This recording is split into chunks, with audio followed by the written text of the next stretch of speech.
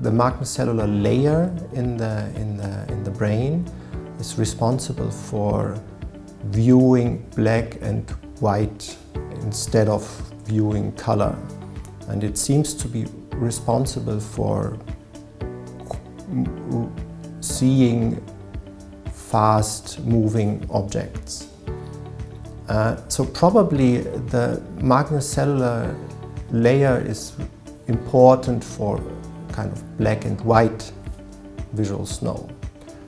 But there are many patients who also have like colored visual snow and very importantly, patients have more than just the visual snow alone. They have after images, they have photophobia, and all these areas cannot be explained by the magnocellular area in the brain. So I think probably the magnocellular cells are important for for, um, for, for black and white visual snow, but it does not explain the full picture and we have to look beyond that area.